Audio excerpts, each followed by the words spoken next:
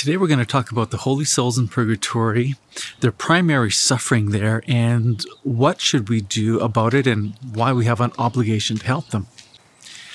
So purgatory, the church doesn't have too much to say on purgatory compared to its official teachings on other matters of faith and morals. So often we look to the saints and to the theologians and to the mystics and private revelation to gain a little bit more insight into purgatory. But briefly, this is what the Catechism teaches. All who die in God's grace and friendship, but still imperfectly purified, are indeed assured of their salvation, but after death undergo purification, so as to achieve that holiness necessary to enter the joy of heaven. So, what do we know?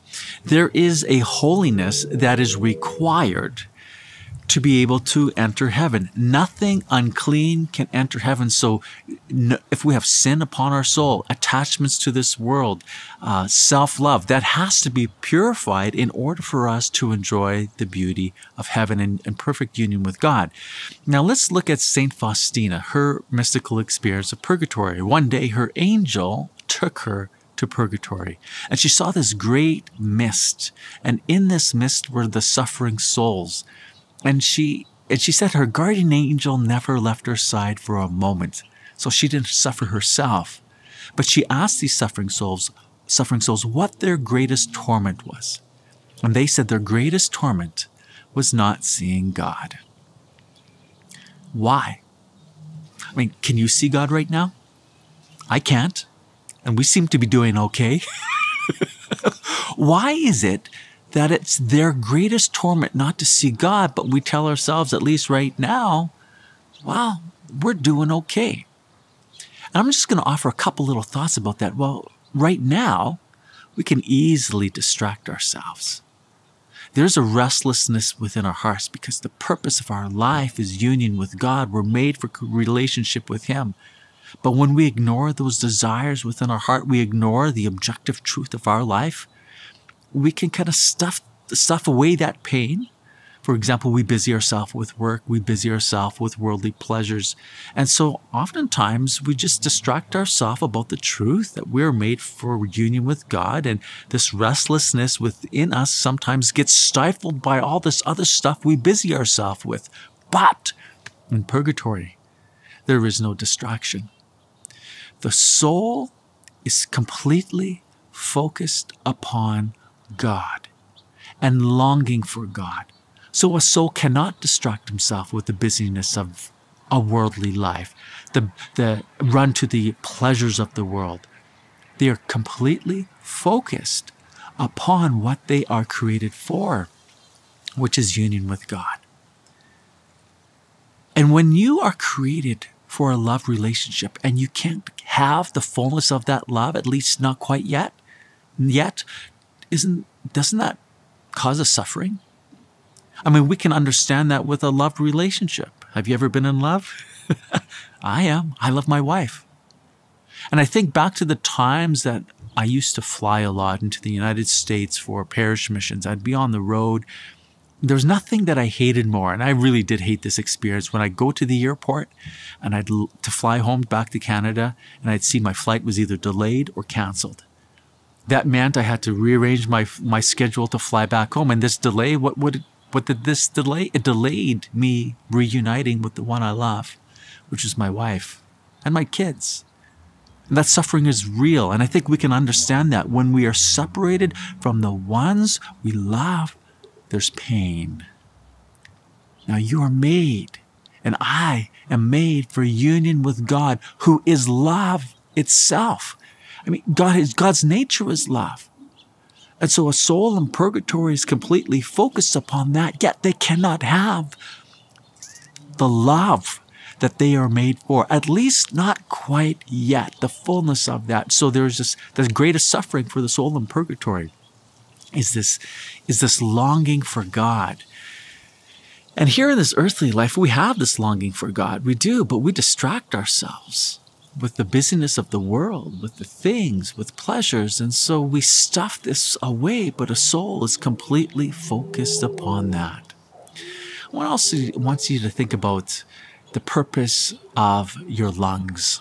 What are the purpose of your lungs for? To breathe But we've all had this experience where we try and hold our breath as long as we can. And what happens? We get to a point where we just gotta take in that next breath. Our, our lungs scream out for that breath. In fact, if we don't take that next breath kind of soon after that, we die. now imagine a scenario where you hold your breath to the point of you just you can't hold it any longer and you have to breathe again but you can't but you still experience this excruciating want for oxygen but you can't have it and yet you do not die perhaps maybe purgatory is like that the soul is yearning for what it is created for, but it cannot have the fullness of that. Like the lungs screaming and longing for oxygen, air, the soul screaming for that love of God, yearning, wanting, but can't quite have the fullness of that. At least not yet. The greatest torment of the soul in purgatory, longing for God. So how bad is it? St. Thomas says, the most roaring furnaces, the most ardent flames to which martyrs were condemned, are a mere shadow when compared to the devouring flames we must endure in purgatory. And it should be noted that those flames in purgatory, properly understood, are the purification of the soul, so that the soul can be purified to see God. Now consider another suffering that these souls undergo in purgatory. Besides not being able to see God, they're helpless. They can't help themselves. They can't take that next breath. They can't see God. There's nothing they can do anymore to work out their salvation. They are dependent upon the mercy of God and prayers. Another suffering is besides being helpless, and have you ever experienced that feeling of helplessness in life when you're in a situation and there's nothing that you can do, but you're completely dependent upon others for your help? Well, consider the souls of purgatory and that suffering. But number two, not only are they, are they helpless, but so often they are forgotten. Just think about how many times you think about the souls in purgatory during your day. Most people, and I would place myself in this category and I want to change it, forget about the souls in purgatory. We should pray for them daily. Imagine being forgotten and great need, completely dependent upon others for help and no one ever thinks about you. I mean, add, add that on top of your suffering. That's the position the souls in purgatory are in. So, what can we do to help them? St. John Vianney said, Consider then the magnitude of the sufferings which the souls in purgatory endure, and the means which we have of mitigating them. Our prayers, our good works, and, above all, the holy sacrifice of the Mass. So, what can we do to help the holy souls in purgatory? St. John Vianney says we can offer our prayers, we can offer our good works, and we can offer the holy sacrifice of the Mass. Let's start with the prayers. What kind of prayers? Well, in your private devotion, offer the rosary for the souls in purgatory. Are you familiar with the chaplet of St. Gertrude for the holy souls in purgatory? It's linked at the end of this video. Private revelation to her says that when we say that 50,000 souls are released from purgatory every time we say that chaplet. Again, that's linked at the end of this video if you want to pray, also in the description. We can also pray the litany for the faithful departed or litany for the poor souls in purgatory. It's also known as that. Again, linked at the end of this video, also in the description. I wanted to give you some practical things that you could do. You could pray the, the chaplet of divine mercy. We have that one also linked in the description. But pray for the holy souls in purgatory. They're depending upon you. And think about this. If you help a soul in purgatory and your prayers are the ones that release them from the sufferings of purgatory, do you think they are going to be grateful? Do you think they're going to pray for you? I can't conceive that the soul who's been released from purgatory by our prayers is going to forget about us. In fact, I think we gain a friend for all eternity, an intercessor in heaven who will obtain grace for us that we otherwise might not have been open to because we didn't pray for them. And now, because we pray for them, they pray for us and win great grace for us. So, moving from prayers, what else? Two, good works.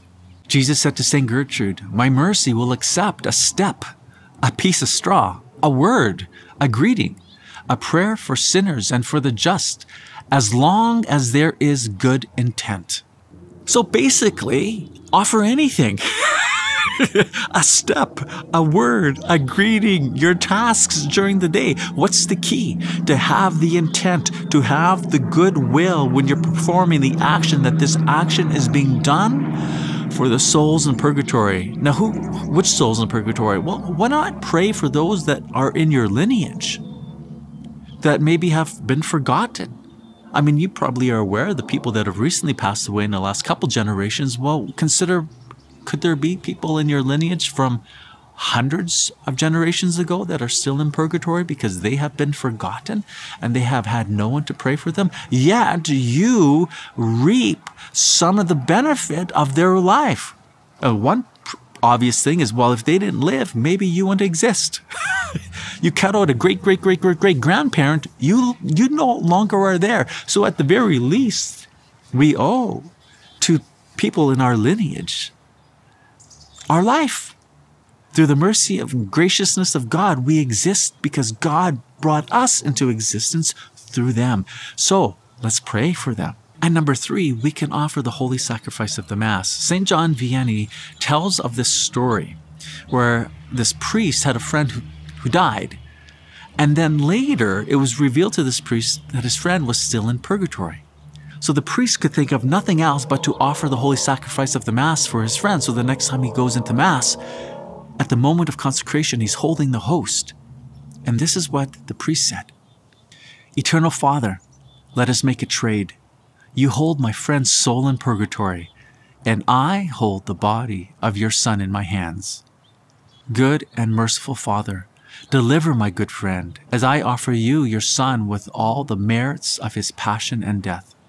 And as the priest elevated the host into the air, he saw his friend like with a blaze of light being delivered from purgatory up into the glories of heaven.